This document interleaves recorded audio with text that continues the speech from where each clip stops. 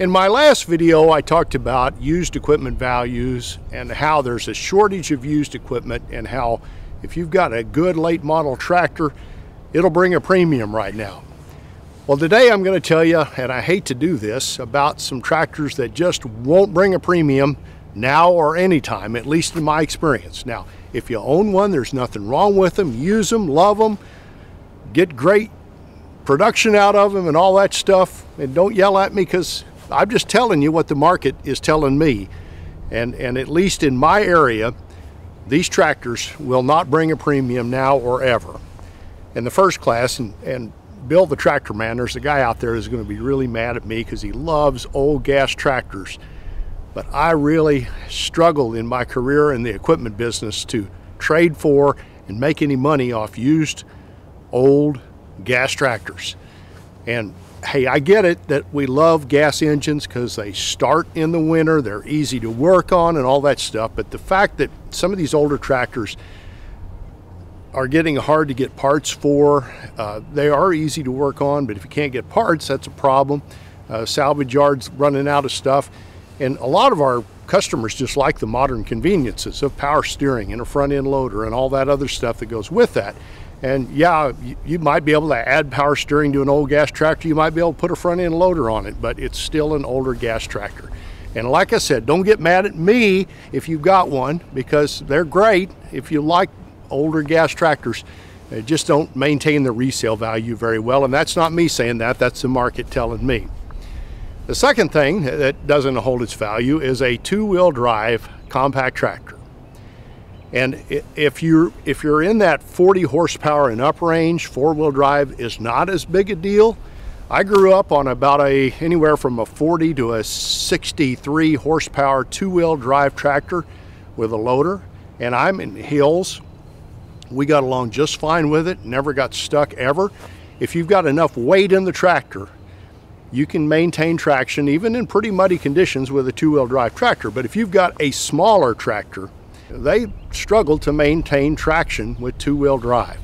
And I'm talking about anything probably under about 40 horse. It all depends on the size of the tractor. If it's a utility tractor, a bigger tractor with some weight in it, it can maintain traction uh, with two-wheel drive. But if it's a small tractor, like a compact tractor or subcompact, and it's two-wheel drive, uh, the resale value on those is awful. If you're looking at one and you make an offer on it, you'll probably own it. Make a low offer. The third type of tractor that doesn't sell too well is tractors with turf tires. And if you're on turf all the time and you don't ever get out and need extra traction, uh, that turf tires work out fine. And a lot of people want turf tires. But if you're trying to use a loader and you're in muddy conditions, you can run out of traction. And uh, you couple a two-wheel drive, uh, which a lot of the older tractors were, a two-wheel drive compact tractor with turf tires and you've got a, a real hard to move item there. The next group of tractors that doesn't sell well is any compact tractor without a front end loader. And a lot of folks think they can buy an older compact and put a loader on it. And yeah, you can. There are aftermarket loader manufacturers that, that build loaders for anything, really. But the problem is economics. When you figure the price of putting that loader together and getting it to you and then getting the hydraulics and everything put together and putting that on, a lot of times you'll have more money in that front end loader than you've got in the tractor. And is the tractor worth more? Yeah, but is it worth double? No, most of the time not. So if you're looking at an older uh, compact tractor without a loader, and make sure it's four-wheel drive, uh, get it cheap so you can afford to put that loader on it. Now, a lot of folks think they can find a used loader, and used loaders just almost don't exist. And at the end of the video, I'll put a video, I'll put a, a link to a video I did talking about that, uh, uh, trying to get a, uh, a, loader for a used compact tractor. And it's, uh, it's really tough to make it work out economically. The next area of tractors that's not holding its resale value very well, and there's really big exceptions to this, is tractors with brands that don't exist anymore. They don't have a dealer network in North America to support the tractors anymore. And sometimes there's exceptions to that.